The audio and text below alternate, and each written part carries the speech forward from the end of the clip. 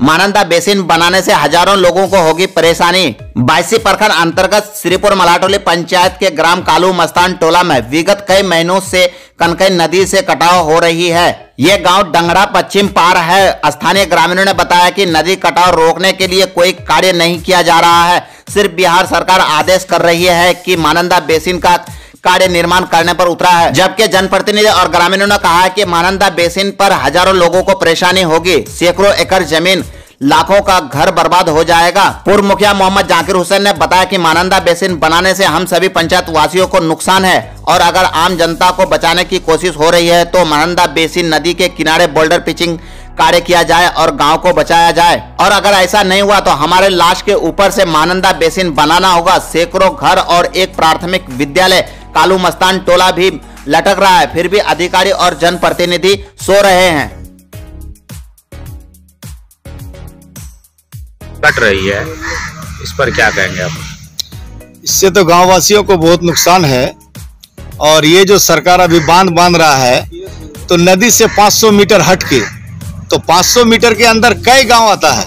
जैसे हम लोग का महानंदा ब्रिज के नज़दीक उत्तर और दक्षिण साइड कम से कम 500 घर है। ये 500 घर नदी के किनारे बसा हुआ है। सरकार को तो चाहिए कि किनारे किनारे बोल्डर दे के अगर बाँध दे तो गाँव भी बचे और ये ज़मीन भी बच जाए। तो इससे दो फ़ायदा होता। अभी जो सरकार जिस हिसाब से बाँध बांधने का सुन रहे हैं या देख रहे हैं, नक्शा खींच रहा है, इससे आम आदमी को फ़ायदा का बात तो नहीं है, नुकसान ज़रूर हो जाएगा। अब जने इसका ऊपरी विभाग क्या निरीक्षण किया है, क्या जाँच करके बाँध बना रहा है ये चीज़ तो वो लोग ही जाने लेकिन हम ग्रामीण तो सोचते हैं कि हम लोग को बहुत बड़ा नुकसान होने जा रहा है इस बाँध से। फ़ायदा कुछ नहीं होने वाला है इससे। तो इस रोड से बिहार सरकार का कहना है कि बोल्डर पिचिंग नहीं मानंदा बेसिन ही बनेगा। तब आप लोग क्या करेंगे? देखिए इसके लिए तो हम लोग पुरजोर विरोध करेंगे।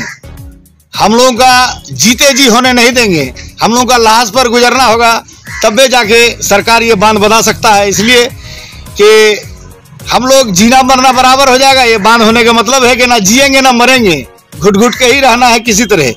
तो उससे अच्छा है कि मर जाएँगे। सरकार हम लोगों को मार दे और फिर बाँध बनाए किसके लिए बनाएगा? जनता के हित के लिए बाँध बनाना चाहता है। जनता जब बचेगा ही नहीं तो हम तो नहीं समझते हैं कि इस बाँध से कोई फ़ायदा होगा सरकार को भी। मानंदा बेसिन बनने जा रही है इससे क्या आमजनों को फ़ायदा होगा? नहीं नुकसान है इसमें। फ़ायदा कहाँ है? फ़ायदा नहीं है। किस तरह से बनने से आम जनों को फ़ायदा होगा? जैसा कि ये अभी ब्रिज है उसी बाँध कटाव को अगर रोकेगा उसी में फ़ायदा है। या बोल्टर पिचिंग करके या कुछ भी करके। लेकिन अभी जो है नदी से उधर आधा किलोमीटर ले रहा है पूरा पश्चिम ले रहा ले रहा है आधा किलोमीटर तो इसमें तो नुकसान ही नुकसान है। फ़ायदा नहीं है। और कटान कब से हो रहा है? ये श्रीपुर मल्हार टोली वार्ड नंबर 11 तकरीबन एक महीना से हो रहा है। कितना नुकसान नुकसान गाँव है स्कूल है खेती भी है किसान लोग का जो मकई लगा हुआ है। कितना घर होगा? तकरीबन पचास होगा। इसमें सरकार के अधिकारी या प्रशासन के लोग वो वो तो जब इलेक्शन आएगा तभी आएगा तभी मुद्दा आएगा जहाँ ये बनाएँगे वो बनाएँगे चाहे कोई भी प्रतिनिधि हो छोटा से बड़ा तक अभी तो कोई ध्यान नहीं दे रहा है। और आप, आपका माध्यम से मैं पूछना चाह रहा हूँ, माननीय विधायक विधायक जी से, वो पहले बता रहा था कोई काम नहीं हो रहा था।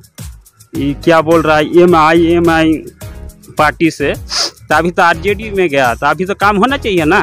बता रहा था जो जो डेवलप नहीं हो रहा है तो उसमें जाएँगे तो काम होगा। तो अभी उसको ध्यान देना चाहिए। बंडाल हो, चाहे बोरा हो, चाहे बाँस हो, लगाना चाहिए।